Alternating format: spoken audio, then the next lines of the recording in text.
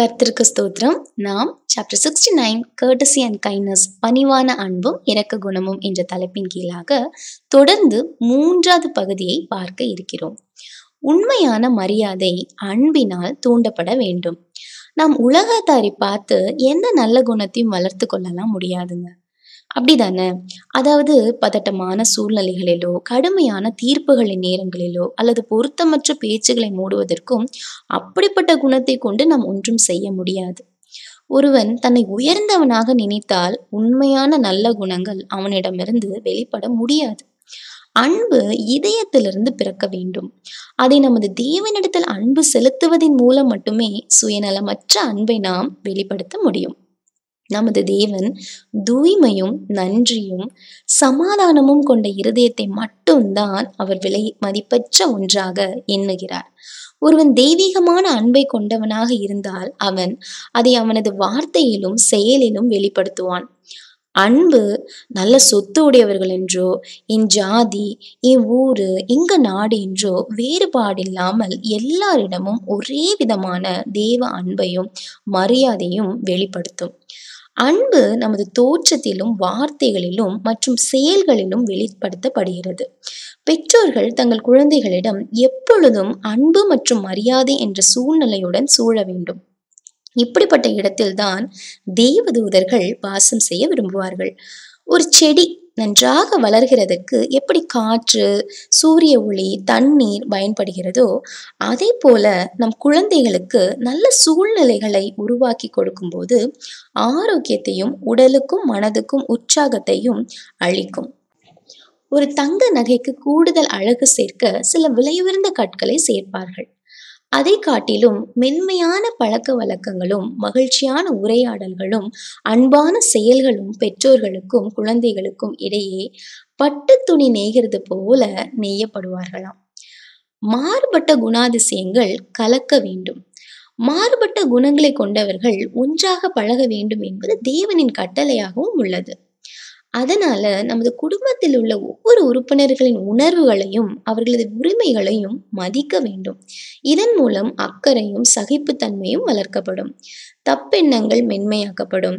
குணத்தின் கடினமான புள்ளிகள் மென்மையாக்கப்படும். நல்ல குணம் பாதுகாக்கப்படும். மாறுபட்ட குணங்களின் கலவையானது ஒவ்வொருவருக்கும் ஒரு நன்மையாகத்தான் இருக்கும். மரியாதையின்மைக்கு எதுவும் பரிகாரம் செய்யாது. கிறிஸ்துவை பின்பற்றுபவர்கள் என்று சொல்லிக் கொள்பவர்கள் கரடு முரடானவர்களாகவும் இரக்கமற்றவர்களாகவும் வார்த்தைகளிலும் செயல்களிலும் தேவனை பிரதிபலிப்பவர்களாகவும் இருப்பது இல்லை. கொச்சைப்படுத்துகிற அகந்தையான தவறுகளை கண்டுபிடிக்கும் ஒருவன் கிறிஸ்தவன் அல்ல. ஒரு கிறிஸ்தவனாக இருப்பது கிறிஸ்துவை போல இருக்க வேண்டும்.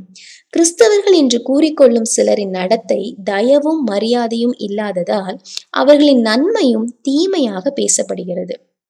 அவர்களின் நேர்மை சந்தேகத்திற்கு இடமில்லாமல் இருக்கலாம்.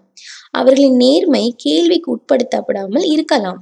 ஆனால் மரியாதையும் பணிவான அன்பும் இரக்க குணமும் இல்லாதவர்களிடத்தில் அப்படிப்பட்ட நேர்மை ஒன்றுமே இல்லை. கிறிஸ்தவன் அனுதாபமாகவும் உண்மையாகவும் தயவுள்ளவனாகவும் மரியாதையாகவும் நேர்மையாகவும் இருக்க வேண்டும். சகோதரனிடமோ அல்லது பெற்றோர் பிள்ளைகளிடமோ பிள்ளைகள் பெற்றோர்களிடமோ கண்ணியமாகவும் கனிவாகவும் நடந்து கொள்வதில் எந்த அலட்சியமும் இருக்கக்கூடாது. எந்த ஒரு வீட்டில் அன்பான கொள்கைகளை கைக்கொள்கிறார்களோ அவர்களது வீட்டிலிருந்து நமது பரலோகத்தின் தேவனிடம் நறுமணம் கொண்டு செல்லப்படுகிறதாம். பலர் இரக்கத்துக்காக இயங்குகிறார்கள்.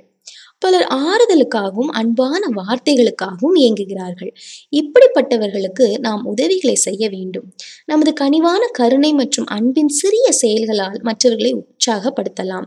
இது பல ஆத்துமாக்களை ஆதாயப்படுத்த உதவுகிறது. இந்த சிறிய விஷயங்களை புறக்கணிப்பது குடும்பத்திலும் கூட கசப்பும் துக்கமும் கொண்ட அனுபவத்தையே கொடு உருவாக்கும். சமூக உறவுகள் மூலம் கிறிஸ்தவம் உலகத்துடன் தொடர்பு ஏற்படுத்தப்படுகிறது. ஒவ்வொரு கிறிஸ்தவனும் தான் ருசித்து கொண்டிருக்கும் தேவனின் அன்பை இருளின் வாழும் ஒவ்வொரு ஆண்களுக்கும் பெண்களுக்கும் வெளிச்சம் தருகிறவர்களாக இருக்க வேண்டும். நட்பான வார்த்தைகளிலும் இனிமையான தோற்றத்திலும் ஆயிரம் சிறிய கவனத்தை நாம் வெளிப்படுத்த முடியும். ஆனால் இப்படிப்பட்ட சிந்தனையற்ற கிறிஸ்தவர்கள் மற்றவர்களை புறக்கணிப்பதன் மூலம் தாங்கள் கிறிஸ்துவுடன் ஐக்கியமாகவில்லை என்பதை வெளிப்படுத்துகிறார்கள். அப்படிதானே? கிறிஸ்துவுடன் இணைந்திருக்கிறேன் என்று கூறுகிறவர்கள் மற்றவர்களிடம் இரக்கம் காட்டாமல் இருப்பது சாத்தியமில்லை. நாம் அனைவரும் இயேசுவின் சாட்சிகளாக மாற வேண்டும்.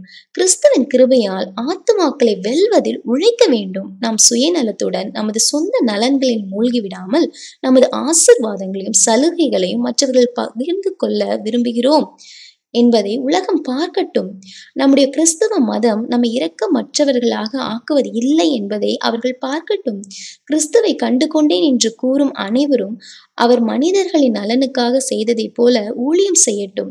கிறிஸ்தவர்கள் ஒரு இருண்ட மகிழ்ச்சியற்ற மக்கள் என்ற தவறான எண்ணத்தை உலகிற்கு நாம் ஒருபோதும் கொடுக்கக்கூடாது. நம் வீட்டில் கண்ணியமாகவும் மென்மையாகவும் இருந்தால் வீட்டை விட்டு வெளியே செல்லும் போது இனிமையான சுவாபத்தின் சுவையை எடுத்து செல்வோம். வீட்டில் சகிப்புத்தன்மை பொறுமை சாந்தம் தைரியம் ஆகியவற்றை வெளிப்படுத்தினால் நம் உலகிற்கு ஒளியாக இருக்க முடியும். அன்பான பெற்றோர்களே பணிவான அன்பும் இரக்க குணமும் என்ற தலைப்பில் மூன்று நாள் எடுத்து படித்தோம். நமது தேவன் அன்பானவர். வேதாகமம் முழுவதும் அவரது விலைமதிப்பற்ற அன்பை காணலாம். அவரது பிள்ளைகளும் அவரை போல அன்பானவர்களாகத்தான் இருப்பார்கள். நீங்கள் எப்படி சிந்திப்பீர்? தேவன் தாமே நமது குடும்பங்களை ஆசிர்வதிப்பாராக. ஆமென்.